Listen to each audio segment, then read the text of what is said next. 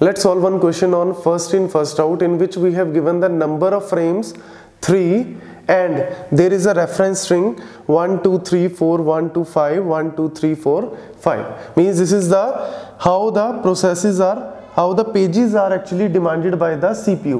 So first of all CPU is demanding the page number 1 of a particular process किसी भी process का late से process P1 है तो उनके सारे पेजेस की रिक्वेस्ट चाहिए this is the request of the pages and we have given the three frames मतलब frame number one two and three given है।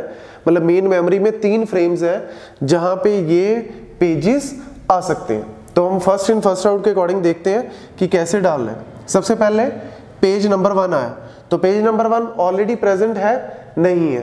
तो page number one already present नहीं है तो हम पेज को सर्विस करेंगे और पेज नंबर वन को मेन मेमोरी में लाएँगे। तो मेन मेमोरी में लाए तो इसको हम बोलते हैं पेज फॉल्ट क्योंकि पेज ऑलरेडी प्रेजेंट नहीं था। उसके बाद हम पेज नंबर टू को लाए। पेज नंबर टू को लाएँगे जब हम, क्योंकि पेज नंबर टू भी नहीं है तो पेज नंबर टू को लाने के लिए हमें रिप्लेस करने की ज़रूरत नहीं है बिकॉज़ ऑलरेडी हमारे पास स्लॉट खाली है तो हमने पेज नंबर टू को फ्रेम नंबर टू में डाल दिया। और ये भी क्या है? एक पेज फॉल्ट। क्योंकि इनिशियली आप मान के चलो इनिशियली क्योंकि सारे फ्रेम्स खाली हैं तो आपको इनिशियली पेज फॉल्ट होंगे ही होंगे।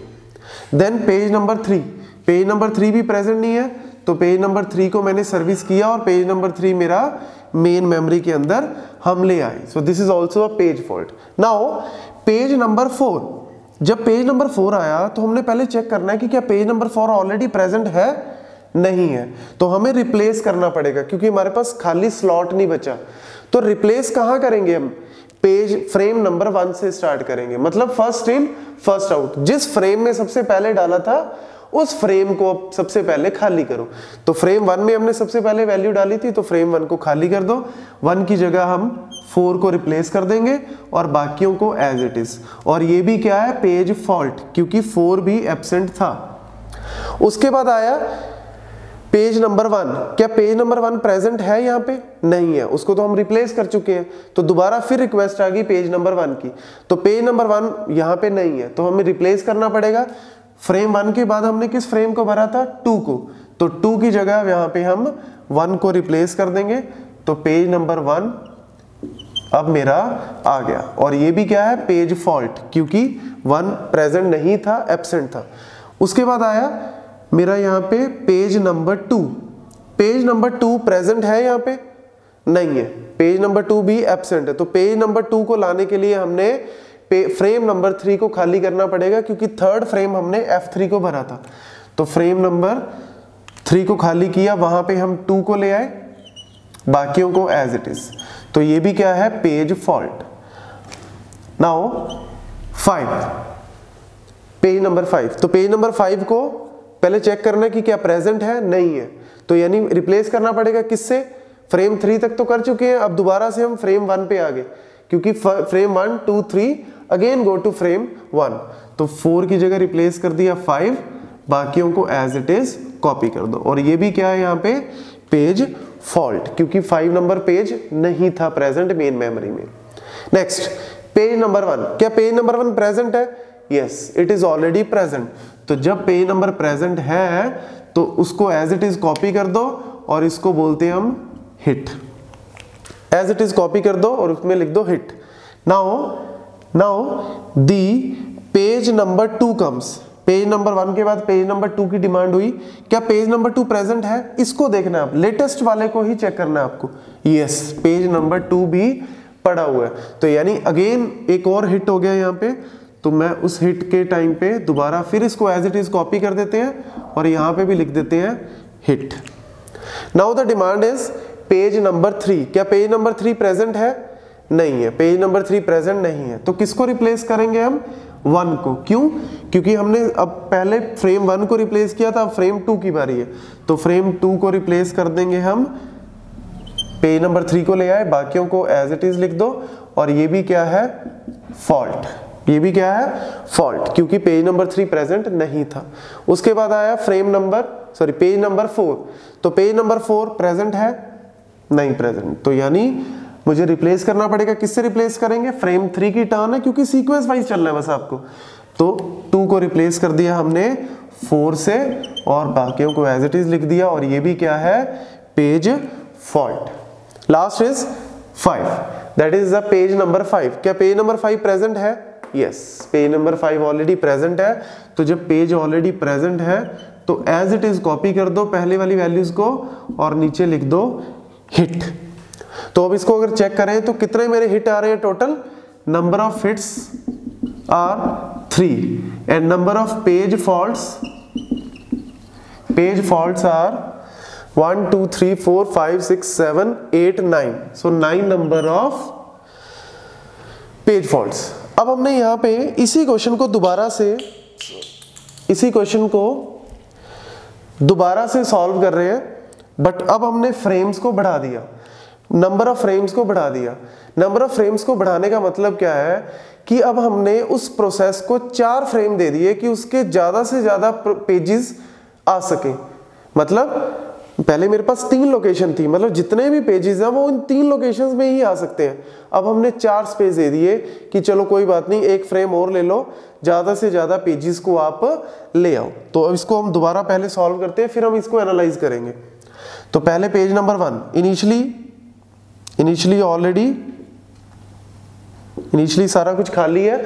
तो हम सबसे पहले पेज नंबर वन को चेक किया। पेज नंबर वन एबसेंट है तो हमने पेज नंबर वन को यहाँ पे डाल दिया और इसको बोलते हैं मिस यहाँ पे एक पेज फॉल्ट हो गया। उसके बाद टू आया तो हमने टू को यहाँ डाल दिया। That is again called a miss page fault three आया तो थ्री को हमने फ्रेम नंबर थ्री में डाल दिया। That is also a miss then page number four आया तो हमने one two three four that is also called a miss now page number one आया। दोबारा डिमांड किसकी आई? पेज नंबर वन की। तो पेज नंबर वन की डिमांड है। क्या पेज नंबर वन प्रेजेंट है? Yes page number one is already present तो जब प्रेजेंट है तो एज इट इज़ कॉपी कर दो प्रीवियस वाले फ्रेम्स को और नीचे लिख दो हिट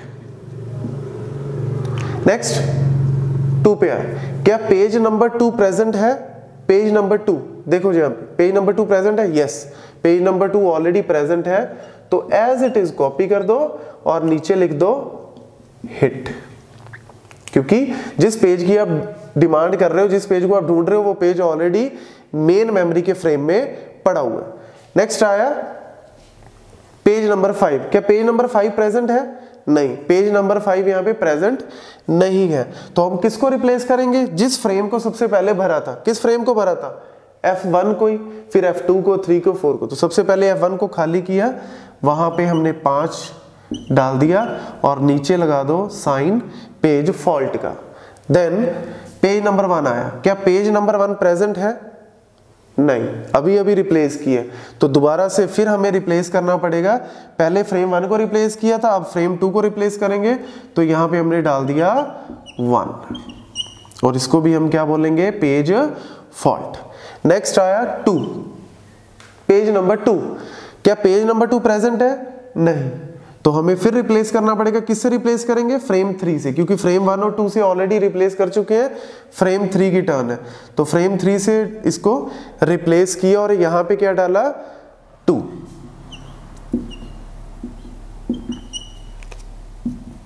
और ये भी क्या है? पेज फॉल्ट क्योंकि आप टू नंबर पेज ढूंढ रहे थे और वो पेज यहाँ पे नहीं है. अब हमने उसको सर्विस करके डाल दिया. नेक्स्ट पेज नंबर थ्री, क्या पेज नंबर थ्री प्रेजेंट है? नहीं, पेज नंबर थ्री भी नहीं है प्रेजेंट तो यानी फ्रेम फोर को खाली करो, वहाँ पे पेज नंबर थ्री डाल दो, बाकियों को एज इट इज़ और ये भी क्या है?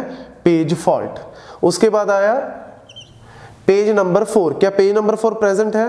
नहीं पेज नंबर फोर प्रेजेंट नहीं है। तो frame one two three four को एक एक बार हमने रिप्लेस कर दिया।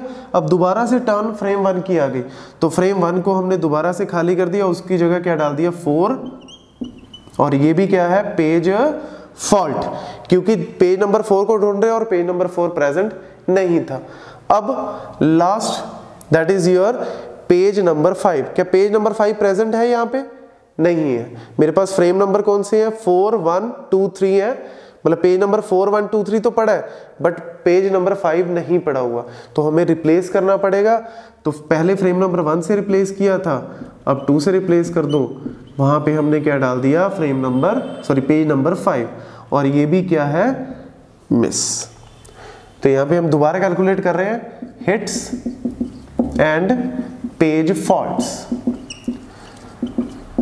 so how many hits one two and how many page faults one two three four five six seven eight nine ten so ten number of page faults अकड़ अब आप इसको अगर ध्यान से एनालाइज करो तो हमने एक्चुअल में किया क्या? एक ही स्ट्रिंग को, एक ही रेफरेंस स्ट्रिंग को हमने दो अलग अलग फ्रेम नंबर से किया। पहले नंबर ऑफ़ फ्रेम्स तीन थे, फिर नंबर ऑफ़ फ्रेम्स हमने एक बढ़ा दिया। अब यहाँ पे अगर आप ध्यान से सोचो कि अगर हमने नंबर ऑफ़ फ्रेम्स बढ़ा दिए मतलब हमने ज़्यादा स्पेस एलोकेट कर दी कि ज़्यादा प्रोसेसेस के पेजेस एक बार में आ सकें तो पेज फॉल्ट तो कम होने चाहिए थे। क्योंकि हमने स्पेस ज़्यादा कर दी, ताकि ज़्यादा से ज़्यादा पेजेस जो है मेरे ऑलरेडी मेन मेमोरी में पड़े हो।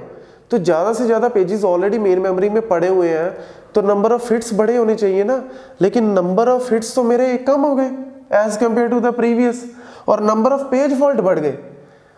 ऑल दो मैंने नंबर ऑफ़ फ्रेम्स बढ़ा दिए तो मेरे पेज फॉल्ट्स कम होने चाहिए थे। बट यहाँ पे पेज फॉल्ट भी बढ़ गए। नंबर ऑफ़ फ्रेम्स बढ़ाने से पेज फॉल्ट बढ़ गए। This is called the Belady's anomaly Belady's anomaly this is on the name of the scientist Belady's तो उसने एक प्रॉब्लम जनरेट किया, अगर ये वाली स्ट्रिंग आती है, और अगर मैं number of not only this string it is possible for others also but अगर मैं फीफो में ही ये प्रॉब्लम आती है फ़र्स्ट इन फ़र्स्ट आउट में ही कि अगर मैं नंबर ऑफ़ फ्रेम्स बढ़ा दूँ तो according to the point according to the logic number of frames बढ़ाने से पेज फॉल्ट कम होने चाहिए, क्योंकि हम ज़्यादा स्पेस एलोकेट कर रहे हैं। लेकिन यहाँ तो उल्टा हो गया। नंबर ऑफ़ फ्रेम्स ज़्यादा देने की बजाय यहाँ पे उसको नंबर ऑफ़ फ्रेम्स ज़्यादा बढ़ाने से मेरे पेज फॉल्ट भी बढ़ गए। So this is called the Belady's anomaly and FIFO is suffering from the Belady's anomaly So this is all about the concept of Bellardi's anomaly and this is how you can solve the question in the gate also and other competitive exams. Thank you.